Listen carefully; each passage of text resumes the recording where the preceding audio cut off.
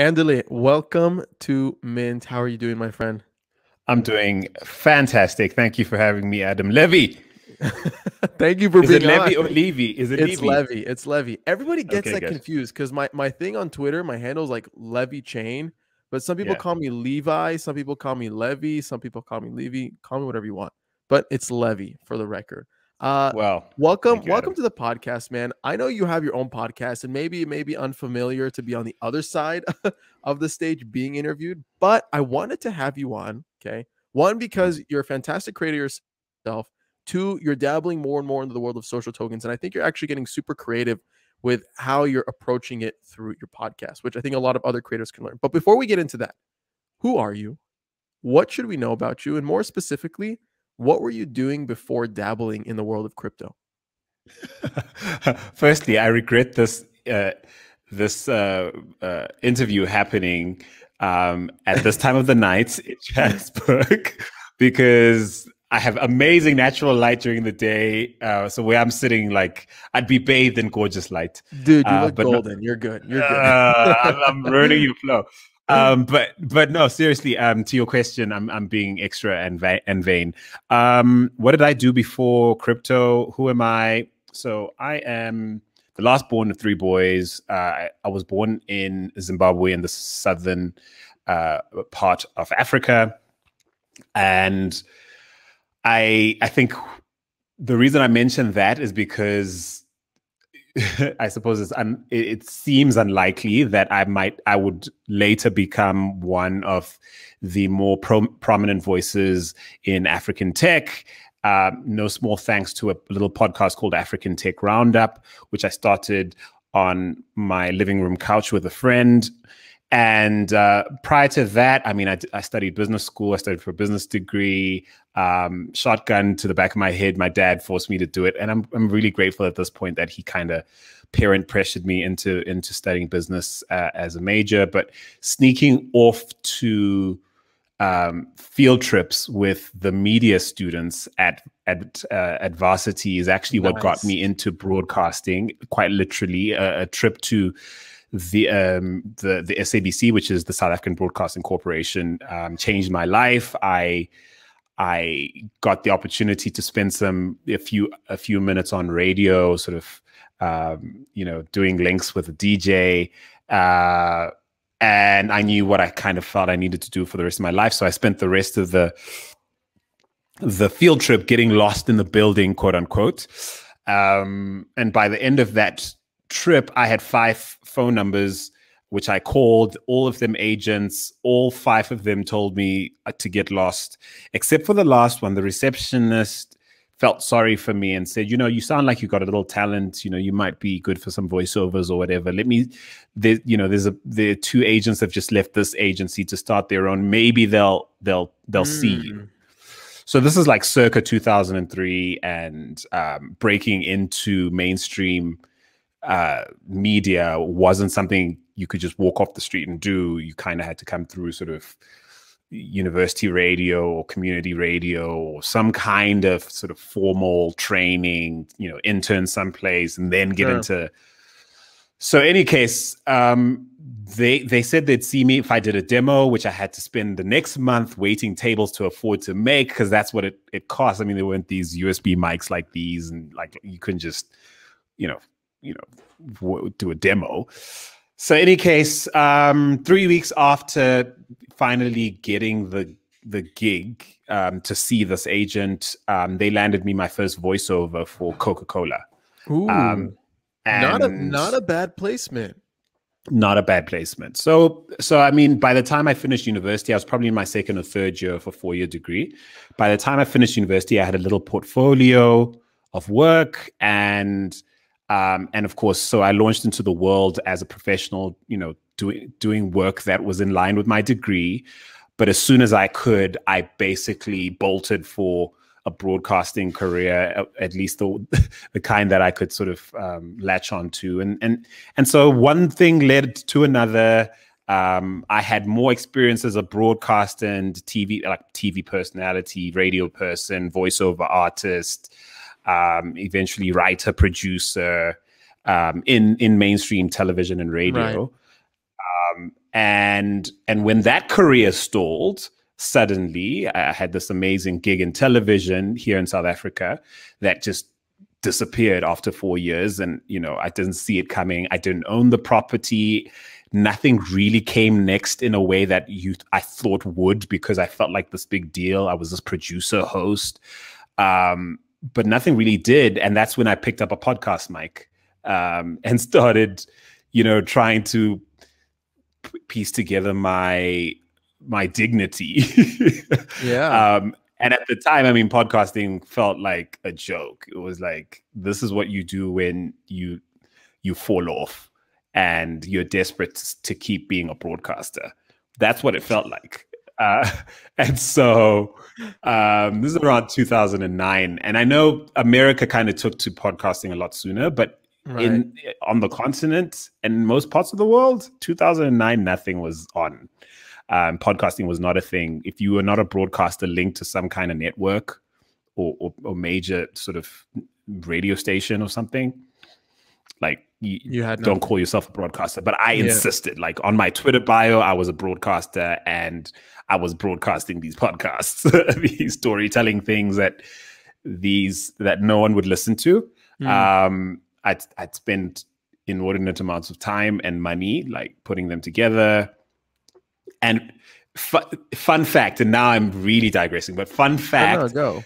those those the, the very first few podcasts I made, which was like the series, which was so uh, originally dubbed Andile's take, right? Because everyone's waiting to know to get my take on things, right? So anyway, I you know I I I I did this podcast series, and at least two or three of them I'm I'm quite proud of. You know, I, I feel like they'd stand up with some, you know, some stuff on NPR and stuff. Um, but I did them at a time no one, literally no one was listening. Five years later, a producer at the BBC would would would hear them and go, "We have to work with that guy," which is how mm. I ended up working at the hmm. BBC and has uh, on on basically their biggest storytelling program globally with like a an audience of 71 million people around the world. So yeah, so it's been a ride. Um, so long, st- long story short, in between all of that, I've been like a, a, a consultant, uh, a media consultant. I, I consult on, on media strategy and and content plays, and uh, you know, I've got a fairly uh, impressive list of corporate and high net worth individuals I've consulted to over the years. Airbnb, the Kering Group, um, a number of different, you know, um, a number of different uh, organizations, international and on the continent. And so, so these consulting gigs stitched together make for a career. Um, and yeah, so the African Tech Roundup turned into this thing um, that actually properly internationalized me because, yeah, no one was covering tech the way I was doing at the time. And yeah, it got me spending three months out of the last four or five years away from home, all over Europe uh, and other parts of the world, basically repping the ecosystem for a world that typically has all these oversimplifications um, embedded in their thinking about you know what the African opportunity is, what mm. it actually means to start up in Africa, you know you know are you real you know yeah. is the hype real is is there anything worth investing in and and so, yeah, the last year or two has been a testament to the fact that yes, there is there is a lot going here, and it's definitely um, there's a lot of hype, but there's also a lot of uh, a lot of things worth investigating and investing in. So that I, I don't know is the most. And here we are this, today. Yes, and here we are today. So I've given you I don't know a, a, ride around my life. Um, and uh, so, what were what were you covering that was so original and so unique at at ATR? Is it ATRU the acronym or ATR? It's ATRU. So for okay. African Tech Roundup. Um, what was so unique? So yeah, I I coined the uh, the phrase oversimplification is the enemy. That's what I, you know, and and and largely I think that was the that was the that that was really what we were up to. We were there. There are a lot of na- lazy narratives about a lot of things. Um, you know, you know, blue is great, great red is bad. Or I'm just using I'm using these flippant examples, but um, we typically, especially in the social media era, are given to binary responses to most things. You know, um, and and for most people in the world, you know, um, Silicon Valley, you know, you, progress, amazing energy, you know, innovation, uh, big business, big tech. African tech, um, you're like, is that actually a thing? As you know, anything African is like suspect, problematic, uninvestable. Um, uh, you know, good for foreign aid, but not for investment. You know, so there's there are a lot of these oversimplifications and then there are also positive oversimplifications like yes africa's the future you know africa rising you know all the you know the you know every you know like the macros of the african opportunity because of the population growth story and and there all these things. And you, you start to realize that someone has to make sense of what's real and what's actually going on. And right. and there are people who are affected by these stories in unexpected ways you know. So when you tell a story that's oversimplified in the positive and it fails or it you know in a bubble burst or um, because it didn't account for all the complexities it actually affects the people on the ground far more than the people the, the people who sometimes mean well and tell those stories abroad to try and drum up interest. In the same way it also affects the people on the ground, the everyday African, negatively when the truth of their resilience and their innovation and and what they bring to the world in a unique way um, is poorly positioned or sometimes completely ignored um, by a world that assumes the only way Africa can get ahead is if USAID, you know. So so that's the value proposition. Mm. Uh, it turns out you just need to to care, you need to be blessed with an international an international, you know, grasp of English that most people can understand. You have, you know, a talent for sense making and critical thinking and cri critical reasoning, a legit lack of fear or reverence for the status quo because I didn't come from tech you know so i don't know like it's nothing to me to like meet the ceo of some major corporation and straight up go you know why is your corporation bad for for africa? Like like i have nothing to lose you know like is and it turns out like even when you come at people with that and and they recognize your intent as genuine and you're not here to to sort of build your own thought leadership um they actually find it really refreshing to have a real conversation with a human being rather than a broadcaster who's you know trying to project some kind of eloquence or or grasp and and it, it took me probably a year and a half to figure that out because i was trying to, to demonstrate that i was as smart as the people i was interviewing. But after a while it was like actually if you just if you just be you in this context and actually serve people and actually have in mind the people who are currently asking these questions and looking all over the internet for answers and not finding them, and you're serving them, something will come you've of it, won. and yeah, you've won. And so that therein lies the long tail value of uh, of our platform, where you know in the year we went away for a year it's just you know during the first covid year we we, we took a hiatus um, we were averaging, I don't know, three, 4,000, sometimes 6,000 listens a month without so much as a tweet or, you know, retweet organically ranking on Google on, you know, you know, for search terms like African tech, organically top one or two, three, without having to publish a single piece of content that whole year, you know?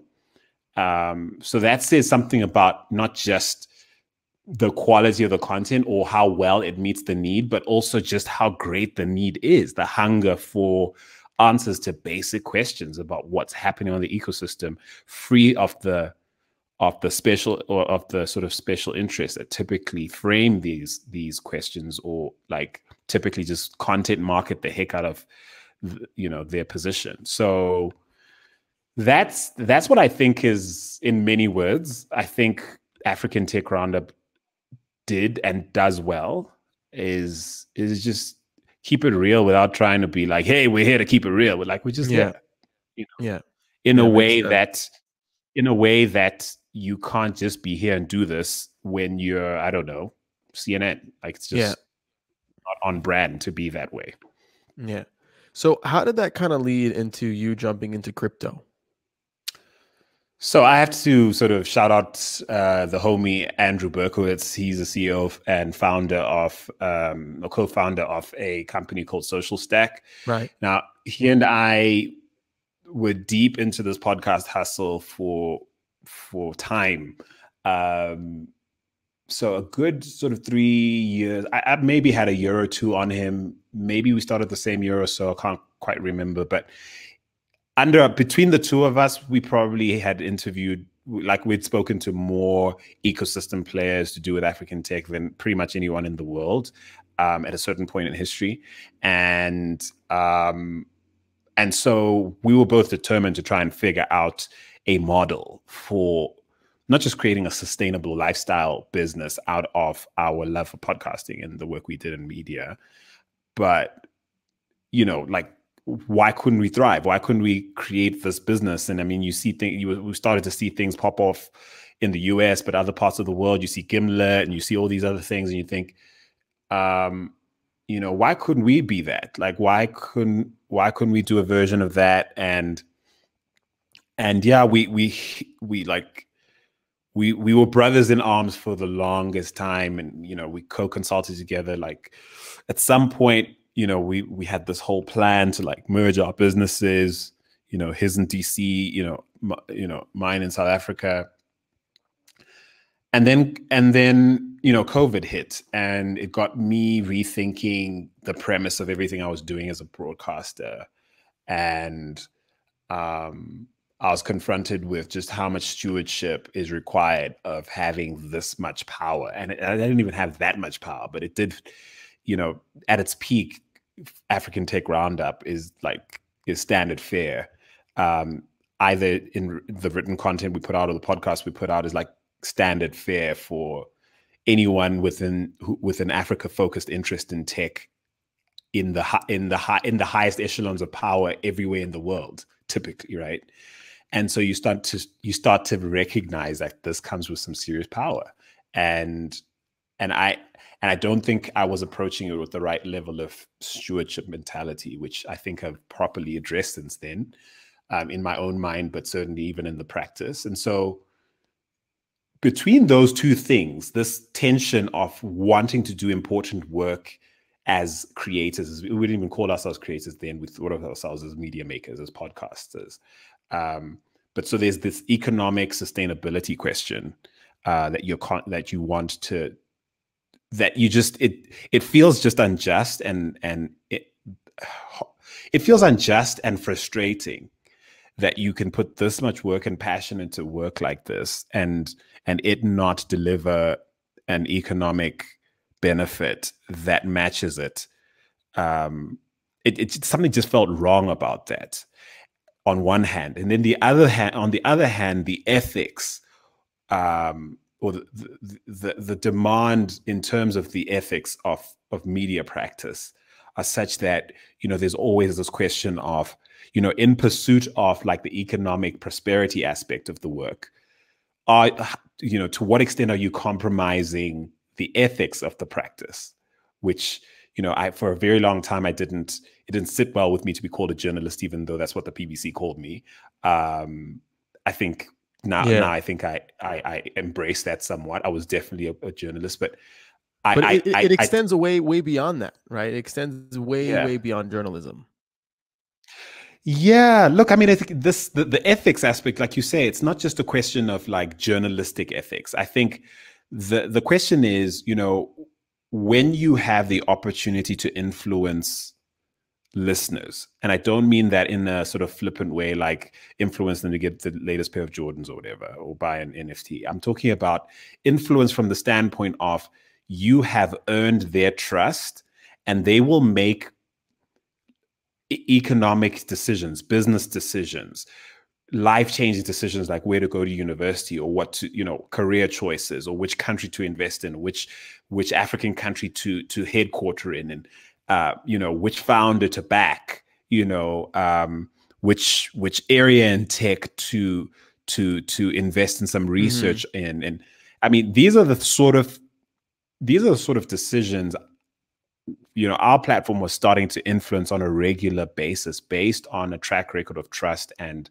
and agnostic delivery of insight um, and so then it becomes how do you protect that how do you deliver on that even as you sort of figure out a way to make this a viable business, which almost feels like, yeah, it just creates that tension. And so that gets you thinking about, you know, the model, you know, how do we infuse a stewardship model that, you know, delivers on economic benefit, but it also doesn't erode the trust and the greater ethic right. of, you know, journalistic integrity that you want to see in great media that you want to make. And these are obviously problems that have made my life that much harder because there's a version of my life that would be so much easier and so much more prosperous financially if I didn't care about any of the stuff. Yeah. And yeah. I could just just, just jump on a mic and do the popular thing or be popular, not care about whether or not, you know, this is good for the world or good for Africa or whatever. And but uh, I, I, you know, uh, that doesn't make me a saint. It just makes me, I think, um, idealistic and principled, which many people are. And in my position, it's like you don't squander the opportunity to to try and uh, protect something like this and and see it outlive you and your personal involvement, which is the other thing that was key to like thinking about crypto, which is, you know, what does this look like when I'm not on the mic? You know, uh, anymore? Uh, or is this about me? Is this a like a big sort of lifestyle business? At mm-hmm. some point, all the podcast was about. Remember how I started? Was it was an extension of you know it was an, an accessory to a, a, career that I was trying to resuscitate and, and in an attempt to stay relevant. What I stumbled upon was a responsibility to serve an audience, a, a community we call the village, um, a genuine opportunity to impact you know the trajectory of our of our continent and the role of technology in that trajectory um, and then you think yeah no you gotta you gotta take care of this you gotta do that well yeah. and so that honestly nothing else about crypto appealed to me everything mm. else screamed scam stay away i'm not an early adopter for anything like forget about it you know I, I shouted out the homie Andrew. Like he yeah. tried. Like I, I should I should be sitting on like a decent sort of Bitcoin stash by now. He tried. you know, he's like, bruh, like get you know get get yourself like a couple of these. I'm like, nah. You know, forget this so internet it, funny money. Forget yeah. this funny money. And yeah. so so honestly, you know, it sounds like it sounds kind of bleeding heart, but it really was. Like if it wasn't for these greater, bigger, um, uh, I suppose, matters of, I want to call it matters of the heart, but uh, honestly, uh, philosophical, moral issues around the practice of media making that I've come to love. If it wasn't for those things and the tension between that and needing to basically, you know, you know, be a great husband and and, yeah. and and provide for my family and and and not and and basically you know benefit economically and, and create a legacy if it wasn't for these greater ideas i wouldn't be in crypto today you know shout out to andrew because andrew has been a big supporter since nearly day one of mint uh, through sponsorship and i genuinely love Socialstack's community because one they're after like pursuing mission driven communities right so there's a lot of like social token projects or coin token projects in general okay mm. that treat their communities as pump and dumps and one thing that's super unique about Socialstack is like embedding into their community to be mission driven first which is super aligned with what atru is doing right yeah uh, and I, I applaud the way you guys are super aligned with how you want to build community, with how you're thinking about ethics, excuse me, and how you guys are kind of approaching crypto as the medium to kind of execute on that vision. So when, when it Yeah. comes to, to building social tokens, right? How do you think social tokens can kind of create new models for democratized media platforms that don't have to kind of be uh what's the word? You know, sucked in by corporate interest, funding or Yeah. sustainability. Like how do you kind of think about that? So I'll I'll answer that question by just telling you how we transitioned. So Okay.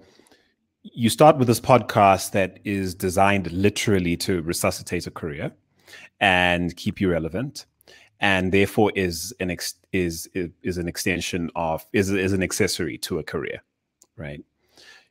You start there, and then you stumble upon the fact that oh, um, this is actually slightly more than that, because the first phone call you get a year in is from the Netherlands, from Mm. a company called VC for Africa, um, that do great work uh, in terms of you know um, mapping and uh, well, I suppose mapping and convening the the venture capital and startup community across the continent. And this is a phone. This is the first phone call you get from someone who says, "Hey, they listen. You know, they listen to your podcast. Would you be interested in some consulting business? We're working on a MOOC. You know, we'd love your input on like." the programming and and and that turns into a two year engagement in creating a, a, an online academy for for for for founders on the continent and um, you know you're producing you're you're sort of editing you're directing on screen talent you're presenting this content um, and then you suddenly realize wait there's a direct link between the the work i'm doing every week in keeping people informed and sharing insights and distilling and sense making um, and a pipeline of of consulting business blank check consulting business because it's it's different every year. Every phone call you get's really different. Every ask's different. So it's not a model. The model is ha- is continue to invest in the in the network effect which which delivers predictably unpredictably over time right? And so you make that the model and you sort of double down on that. And but at the center of this whole thing is you because you can't really share it because you don't want to really share the platform. You don't want to really share the glow because it really it does come down to the next phone call which you you really do hope is your next consulting opportunity for you right? And so then it transitions to oh well it's a, it, it can and probably should be more than that um because you know one you're you're, you're reaching you know a much wider audience than you even Right. expected. You're getting syndication opportunities. The bbc is calling you from time to time to do sort of features on you know whenever important things are happening on the continent or developments and your profile is growing you you know you suddenly realize that you are in the public service right? This you know and now you have to Right. think well if, you know if the well the bbc thinks of me as a journalist like I, I, let me read up on what that is. And you take some master you know you audit some master's classes at, at you know Wits University's journalism masters uh at, well journalism department. And you start to realize okay you know i'm cynical about a lot of the you know this this idealism around what journalism can and should be but there's a lot in here that i probably can and should be you know adapting into my practice. And so maybe i should create some kind of safeguards from from capture as it were right? Safeguards from myself and my personal interest and safeguards from from people who it's becoming quite apparent are quite willing to hijack the feed to to reach the audience right? And what does hijacking the feed look like? It's like people literally want to turn you into the into the brand x african tech roundup or you know so they basically want to rebrand you or they they they want to dominate like two-thirds of your feed with their content marketing or whatever right? And and you suddenly realize well no we can't have that. We're going to need to figure out how to balance the opportunity to benefit economically with you know the need to keep this pure and and then the next transition is sort of like how do you do that because you know you know ad sales can be problematic you know you know you know doing the sort of sponsored content stuff is tricky Yeah. Yeah. in an ideal world, you shouldn't have to think about any of that, right? In an ideal world, you should be resourced by the people who care the most about the work you do and uh, who care the most about keeping it uh, free of any influences that would influence what they hear or what goes out in the world. And so, I mean, look looking around, there aren't that many options for for um, for for for for for, uh, for mechanisms to deliver on that. And so there, therein lies the social tokens potential utility. It's untested to, to, to, to, the degree to which we envisage it being tested, but we are sure going to try to create a, yeah. an economy of value yeah. that leverages the opportunity to dem- democratize who truly owns the platform, who truly determines um, who projects via this platform into public sphere. That's how the, the social token fits into everything, and and and it's mm-hmm. actually what got me in. Um, you know, and it, it, it, it honestly, I I probably wouldn't be in crypto at all if it wasn't for this innovation in crypto. So, it, it, how many generations? It's probably like two or three generations into the crypto trend mm-hmm. that you know sort of birth birth social tokenry is is what got me. I was like, oh, this makes sense to me. Yeah. What's up, guys? Adam Levy here. Sorry for the quick pause, but I wanted to give some love to our three NFT sponsors that are making this episode a reality. They are Coinvise, POAP, and Socialstack. On Coinvise, you can create a personal or community owned social token on Ethereum. Coinvise also helps you create incentives through token rewards and bounties, NFT business models, and bot integrations for Discord. Discover more by visiting coinvise.co today. Next up, we have POAP, or short for Proof of Attendance Protocol, who enables a novel way of creating one's life diary Leveraging NFT technology, POAP facilitates an easy way to mint non fungible tokens related to meaningful events. It's frequently used in crypto native communities, and now it's starting to create NFT collectors in the mainstream too. Collect or launch your own POAP today by visiting poap.xyz. Next up, we have Socialstack, a platform for communities, brands, and creators to build mission driven social token economies offering an easy to use non custodial wallet with a suite of open source community engagement tools. Socialstack makes it simple to bring your community into Web3 and be a part of creating an open source, gratitude driven future for social tokens. Create a free social token wallet, discover mission driven social token communities, or apply to launch your own token on Socialstack by visiting socialstack.co today.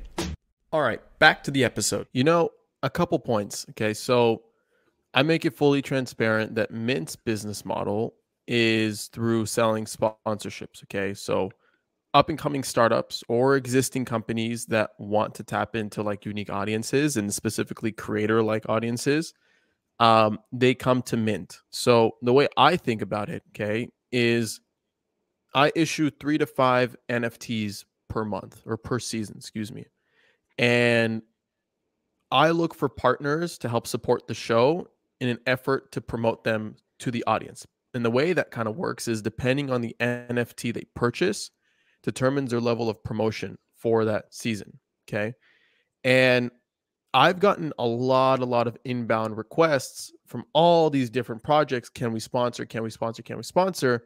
For me, I always think about what could be the best value add to my audience. So rather than thinking about it from a control point of view, right, I think about it like, okay, there's projects like Coinvise, like POAP, like Socialstack, uh, like Prime Down, like Celo. These are some of the sponsors that have been on the past pro- uh, projects right. that have been on uh, in, in in the past that are actually one super ethical startups. Okay, they have ethical founders. They have very transparent missions. You see their actions. They're actually committing really net positive outcomes for the space in general.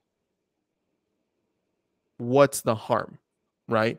Now, if you make it apparent, if you make it transparent, you let people know that look, they are sponsors, right? They are supporting the podcast. It's a means of keeping this thing up and running and providing content.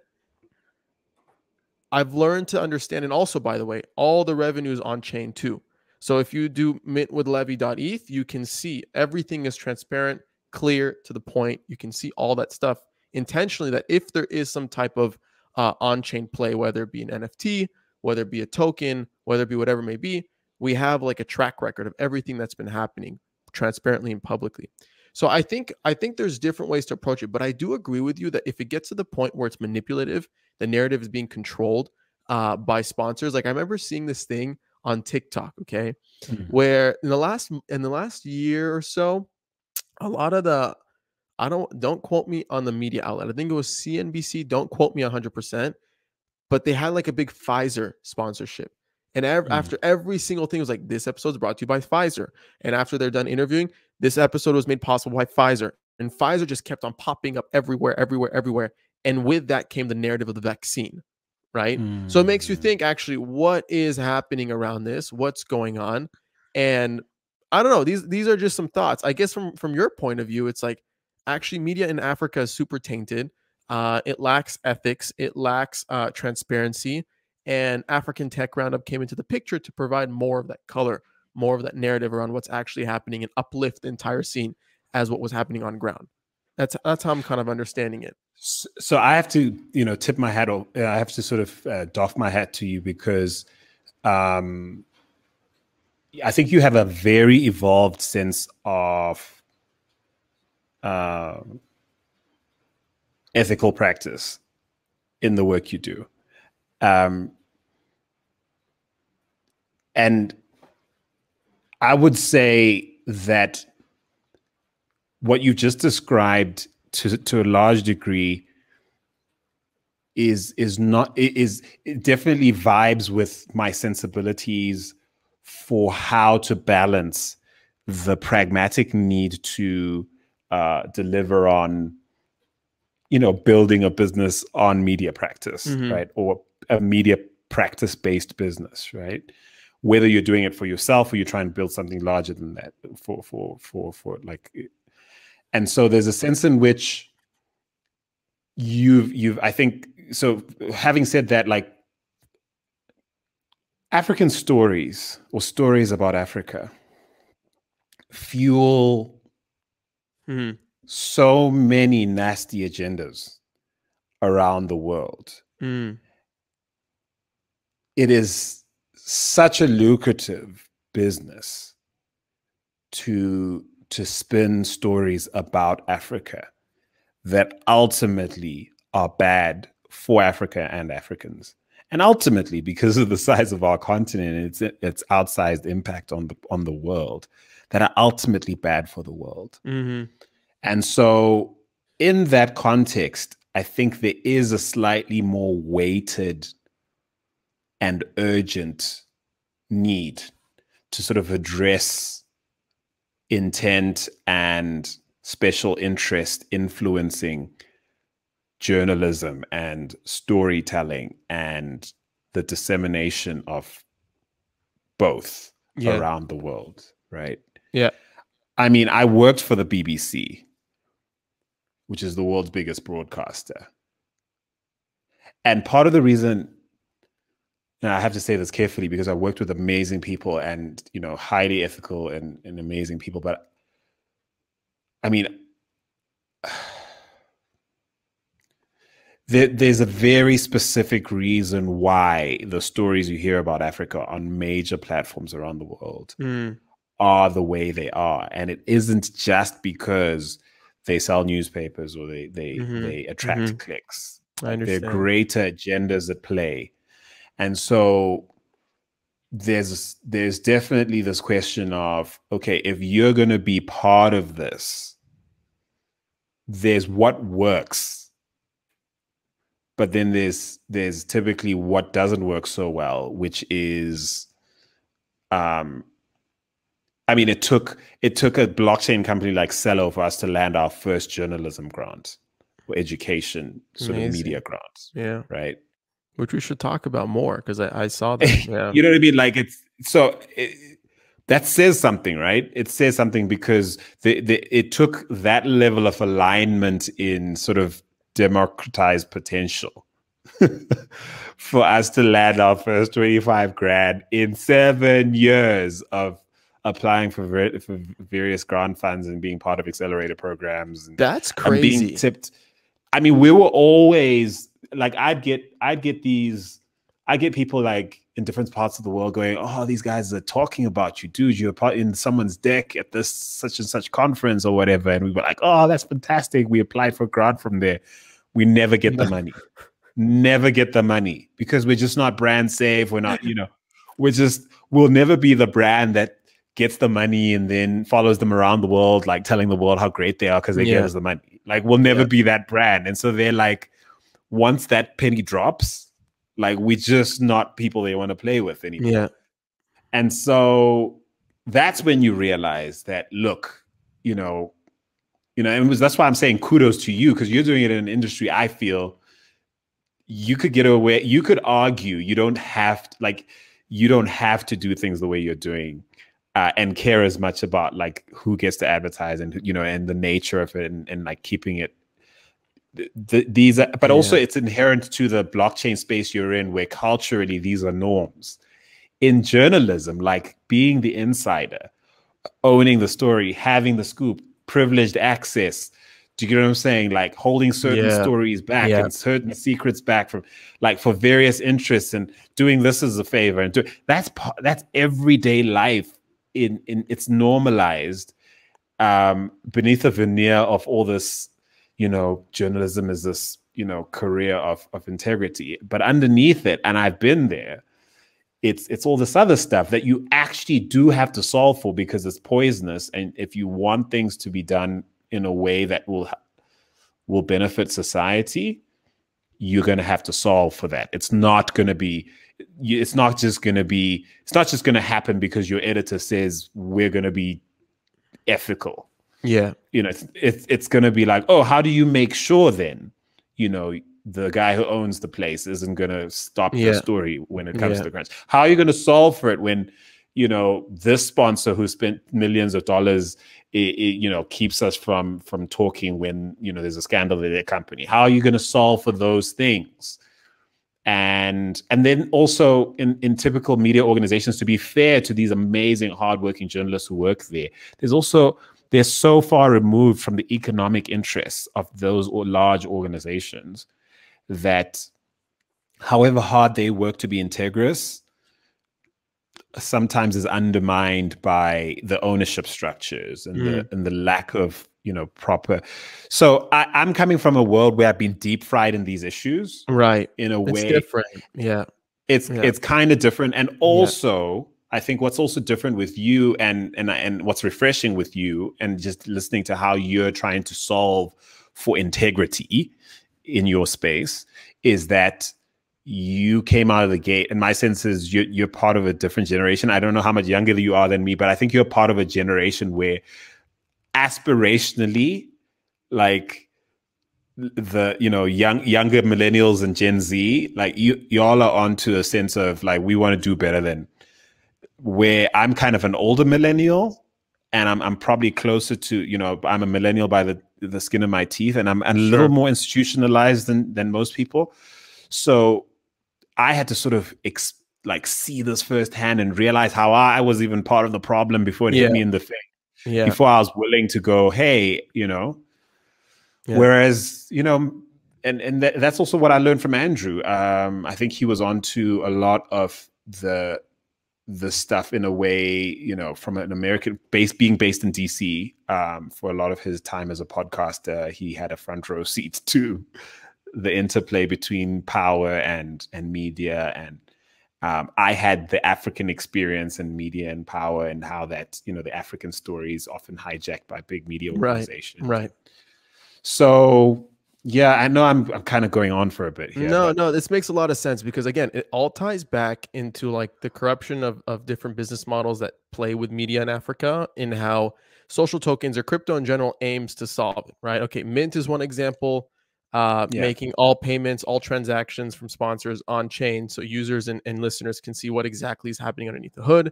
You're approaching it from the point of view of like, okay, let's approach social tokens. Let's try to remove the middleman and go straight to the community and the people who love and adore African Tech Roundup, crowdfund from them, get them involved, uh, and, and have them actually participate in the future success of what this media platform can become. Super unique, super original, and actually quite intuitive to, to what's actually happening in the media space in Africa, from what I'm understanding. These business models are corrupt, crypto is kind of that step forward of trying to solve it and trying to introduce new light into the image. There's a lot of experimentation though. There's a lot of education required.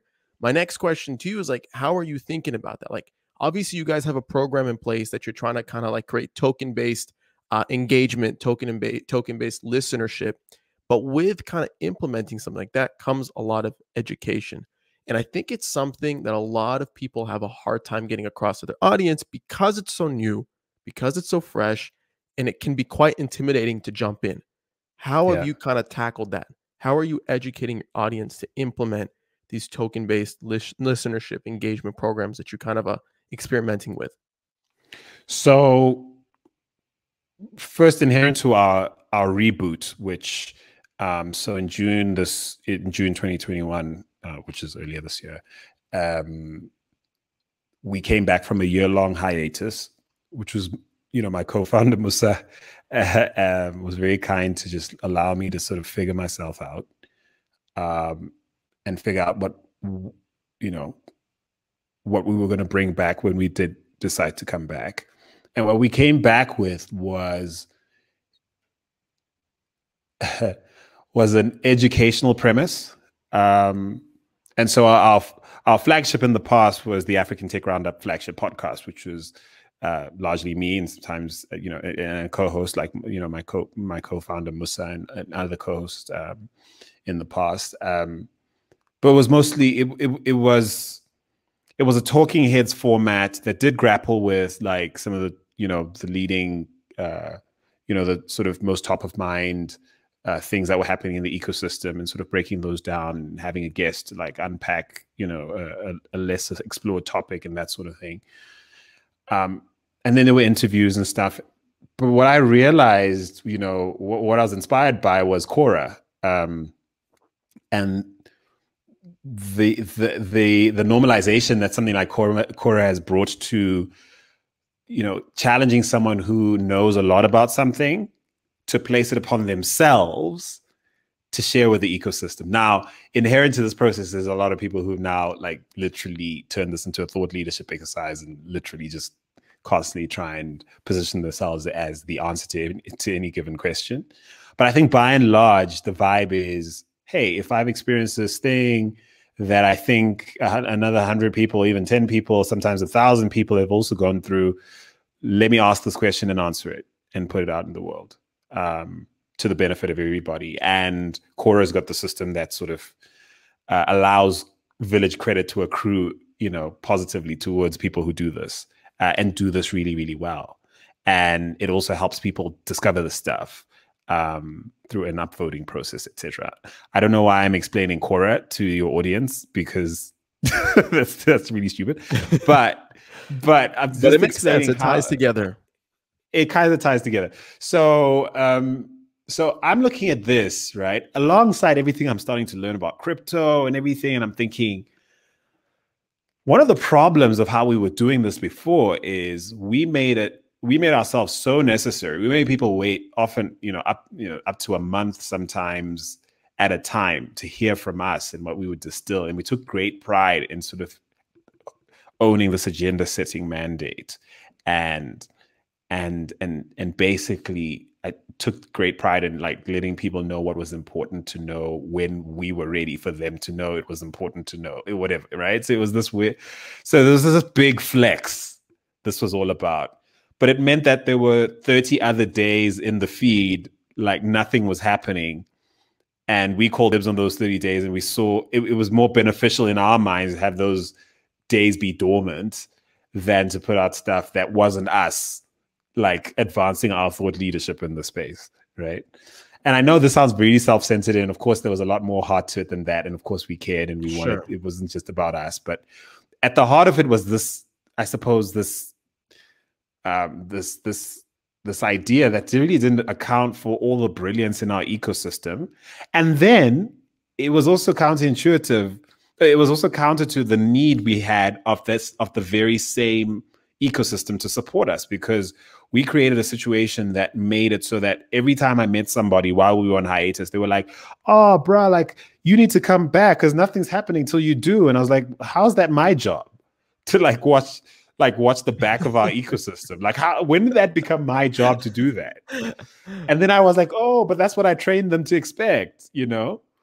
And then I was like, nah, when we come back, we, we need to crush that nonsense. Right. And so the Unajua series is literally a series um, of, of, of podcasts, 15 minutes or less, that answer questions about the ecosystem that typically are going unanswered um, anywhere on the internet, and and it's not you know and so the that is now the flagship premise. The premise is we're going to seed into the internet a, bunch of answers or a bunch of minimum viable responses to, to questions that are often asked about tech innovation um, uh, you know africa's digital transformation that aren't being answered adequately or in this format or at all.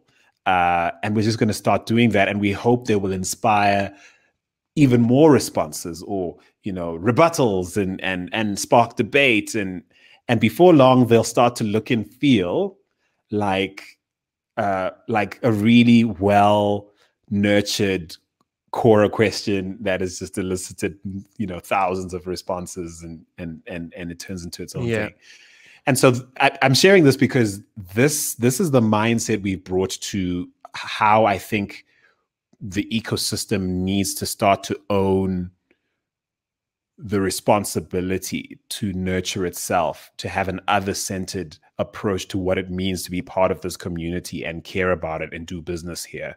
And and to tell news about it and create stories and tell stories about it and answer questions and ask questions about it. Like this shouldn't be a question of which questions Andile thinks are worth answering today and and which issues does Andile think are worthy of like turning into a podcast tomorrow. This yeah. is this should be a much broader premise of all of us learning and growing together, you know, learning and growing in public together. Sure. And so so that's the the general premise. So now the you know when you think about the social token and and and who should be able to earn it and why it's within the context of those exchanges. You know are you contributing to this to these processes either by consuming consciously i.e like taking in really good stuff and sharing it with other people?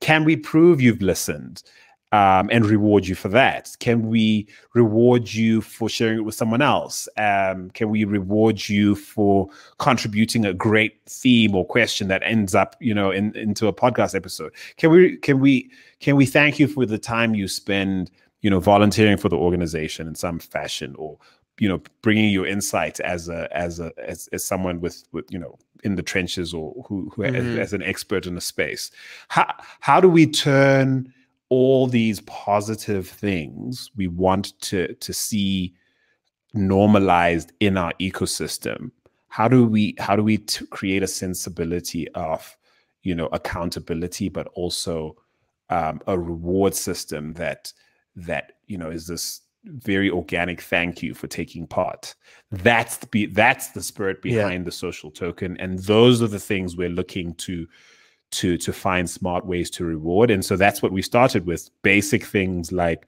you know easter eggs hidden in our content. You know you answer the you answer a question you know send us um you know uh, send us the answer to that question reward you with token and things like that. And, and you can and you so, automate yeah. that process? Is that process automated? So we're working with Socialstack to right. to okay. to to get it done. But no, it's not automated. I'm afraid it's actually.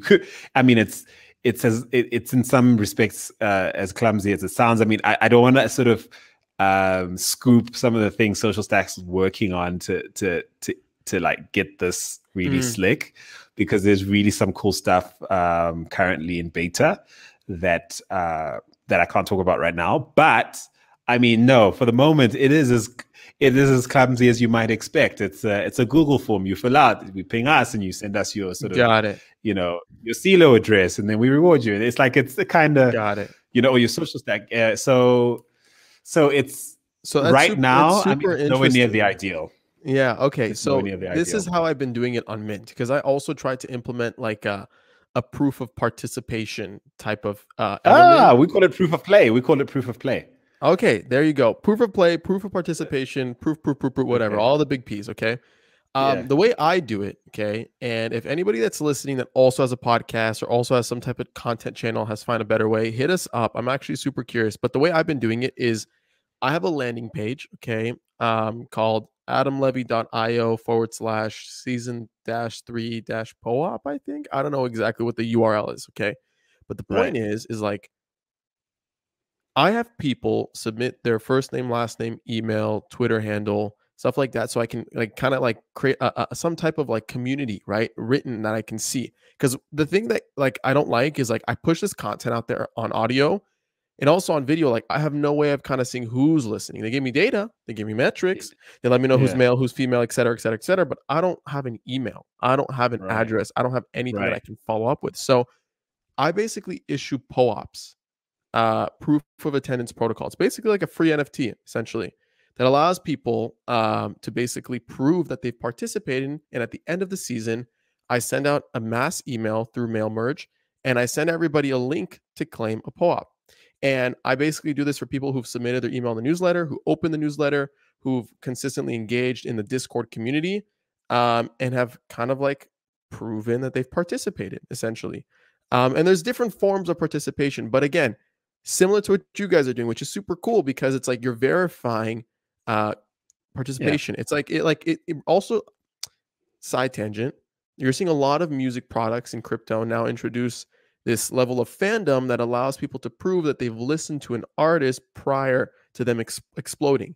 So Wow. imagine if you could be on SoundCloud and basically like I was able to listen. I was in Juice WRLD's top 100 listeners Right. prior to Juice WRLD becoming Juice WRLD, and I can like flex that, right? So it's like the same concept. It's like, okay, if you're listening to something, Mint hopefully one day is going to be this big bad podcast and media outlet that is going to be of a resource to creators and, and crypto individuals alike, and people who kind of like participate early on can prove that you're taking the same approach. Yeah. So here's my question to you though. How Yeah. are people taking to that? Like, because I think the challenge is is hack is hacking is like hacking habits, you know? How do Mm. you how do you turn this into something people yeah, like how do you make this part of people's lives in a way that isn't an interruption to it? You know, Yeah, Ha- what are you finding as far as that's concerned? So, how do you apply this to people's lives without being an interruption? The beauty behind POAPs, it's already ingrained in crypto culture. People love collecting free NFTs. These moments that kind of prove that you've participated or you, or you were at a location. So, for example, you go to an event, you prove that you were there physically. The organizers hand you a POAP that goes to your address. You can prove you were at that event. You come to Mint, you join the Discord, you join the newsletter, you're automatically qual- qualified for a POAP. You've joined, you've entered, you've taken that Mm. step. These are things, POAPs are already things that have already naturally ingrained in like crypto culture. So it actually just like it just follows them along their journey. You know, it's nothing like new that they have to do or anything like that. And to be honest, and I've talked about this very publicly on the podcast, is like it has been the best growth hack to kind of bootstrap uh, a, a, a newsletter in a crypto community and in an audience uh, and Mm. get like certi- I've gotten thousands upon thousands of registrations, you know, and submissions for these POAPs as proof of participation because people, the assumption is essentially is like, and you've seen this with like uh, communities like Bankless, shout out to Bankless, they kill it, uh, and other communities that Mm. if they have a database of your addresses, then if there is some type of token event or NFT event, the people who have participated early on will get priority in airdrops. That's kind of like the mentality. Okay. Gotcha. Um, Gotcha. And whether or not that's going to happen with Mint is not the point. Rather, it's kind of like ingraining and sucking people into the process and having them participate and contribute and being able to celebrate that participation by giving something. So it's a very like you listen, I give you kind of relationship that I love that I'm trying to cultivate, you know? So fascinating, man. So now I'm thinking, you know, at what point does a social token make sense for you? Um, Yeah. in the context of what you're building. You know, I've been thinking about uh Levy coin, for example. Okay. Hmm. Um, and I've personally haven't found the right model to do it yet. Now, Hmm. So, okay, so I recorded an episode with uh, uh, Shenanigans, okay, which is basically a platform uh, that creates social tokens for athletes, okay, a whole different class of, of creators.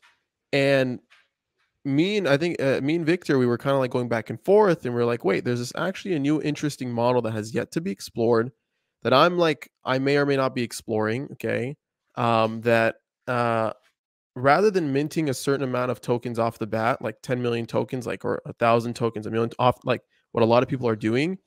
Yeah. What if you could actually print and mint tokens based off your contribution to your community? For example, every Tuesday and Thursday, I publish an episode of the podcast.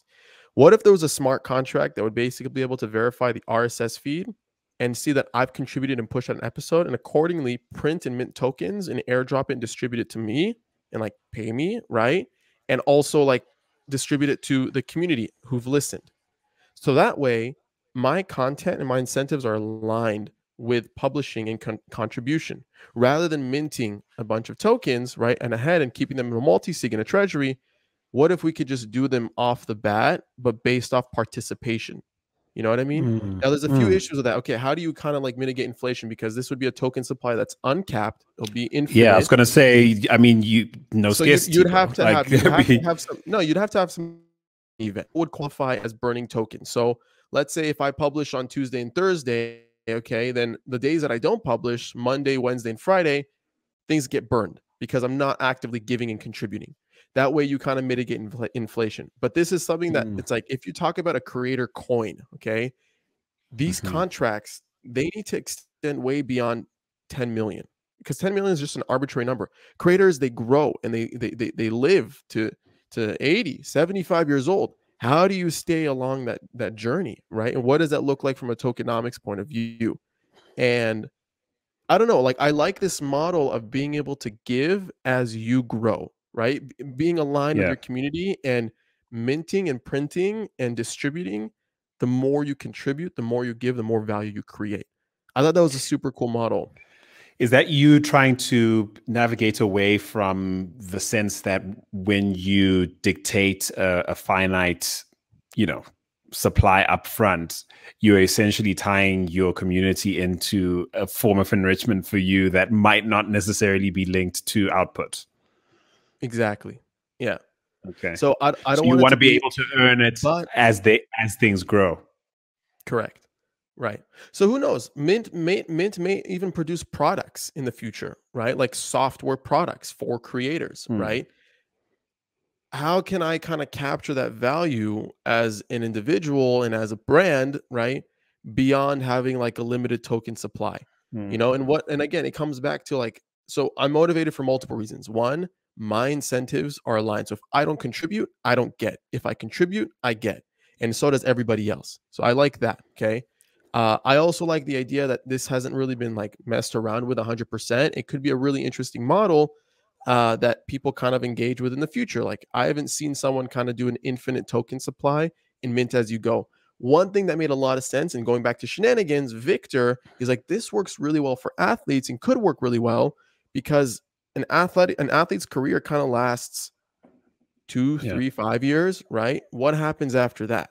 You know, like how do they build brand? How do they build community? How do they build fan bases, et cetera, fandom, et cetera, et cetera, et cetera. And if you only basically create a coin for an athlete during his two to three to five year period, what happens when they kind of graduate? What happens to that coin? What happens to that community? Mm-hmm. You know, and so I don't know. These are things I've like been experimenting. It's a very like early, early concept that I haven't seen implemented, but I just like it to summarize everything because incentives are aligned for me as are a creator in my community. What needs to be so kind of worked out is that burning mechanism. How do you mitigate inflation down the line? So my question then, in the context of you know how quickly things move, uh, I mean, what are you giving yourself? Like two, three years? What's the opportunity cost of not getting in now? What do you mean? One more time.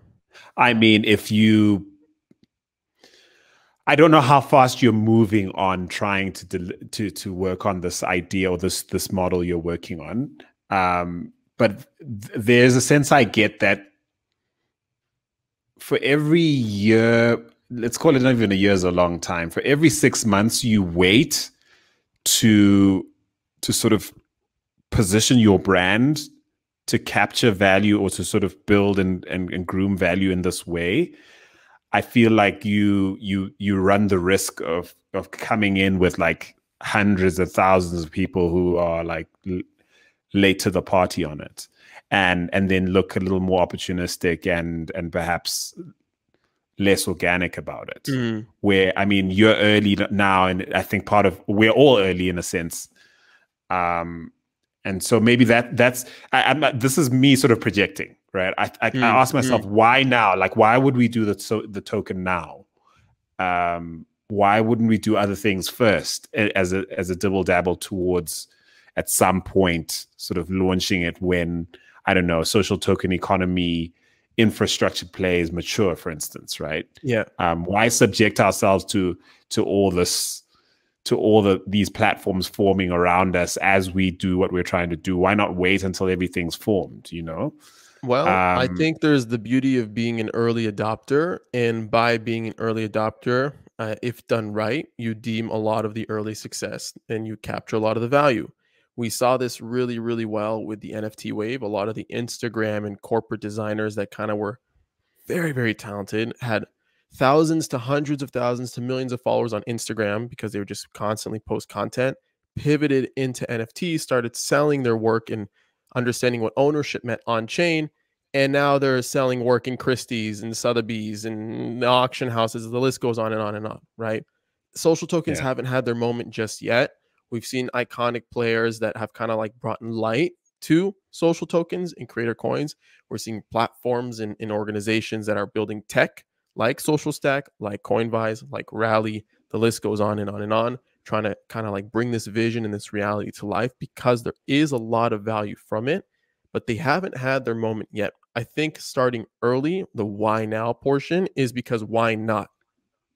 That's how I think about it. Why not start now? Like what what are the risks? Inherently, I don't think there are that many risks. If anything, I think it would actually like all the creators that are kind of dabbling with crypto and all the all the creators that are dabbling with social tokens, NFTs, they're positioning themselves, just adopting that mentality of being early adopters, testing, throwing shit at the fan, trying to see what works. That level of mentality, whether it's going to be social tokens, NFTs, whatever is going to come in the future, is going to position them up for success down the line.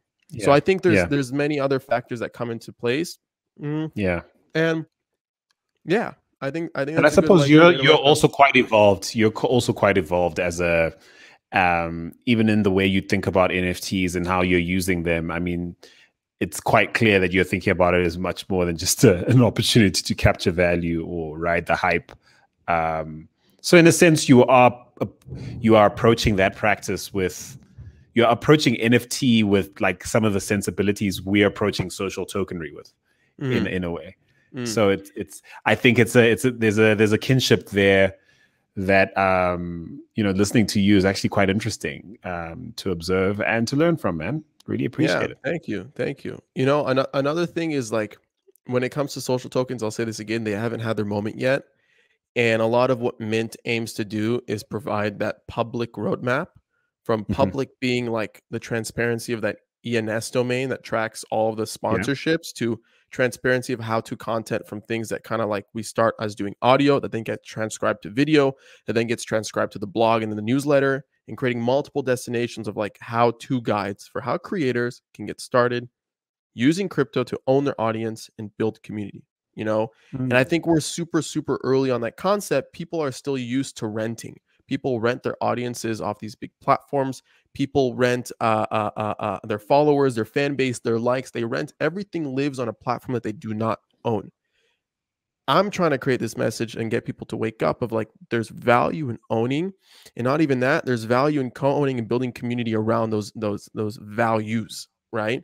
And mm. by launching NFTs, by launching social tokens, opening up a Discord, a Telegram, taking your audience from Web two into Web three, now you have a direct, concrete funnel of direct line of communication to work with them, to build with them, to grow with them. Something that you don't own on Web 2 mm. that you now own in Web 3, right? Because you can get mm. shadow banned, you can get discontinued, You can do all like Spotify can remove your podcast. Something that I'm trying to discover. I was like, how do I upload this stuff to IPFS?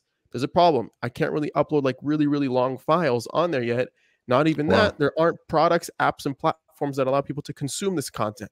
So it's still like that just shows you how early we are. super with early, yeah. We're right? Super early. Super, oh wow, we need early. these guys so much. We Right? need these major platforms far too much. Uh, Yeah, So yeah. My- so much my- growth.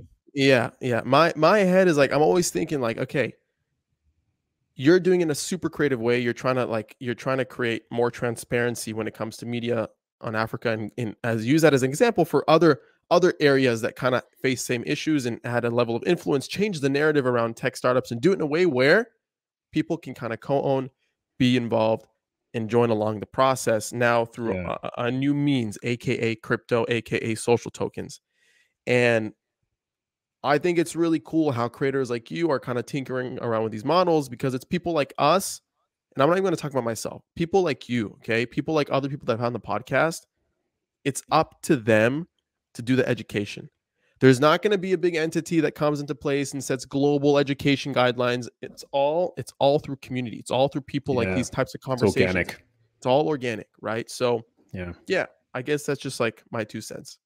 The, and uh, you know, great segue to to this shameless plug I'm about to make about you know what we're doing with all this grant funds, all this grant money we got from Celo. Yeah. All all thousands of it. It's not like that much. Because because that was going you, to be my next We love question. Yeah. you. that, that was going to be my next question. So you did get grant money over the last few Yeah. years. You've been having a hard time getting grant money. You tapped into crypto, got a grant. You're building towards this vision of equitable media, right? And doing Yeah. it along the Yeah. way where community can co-own and be a part of that process. What is that grant going to be used for? Uh, Yeah. Why Celo? Like, walk me through that. So our social tokens minted on Celo.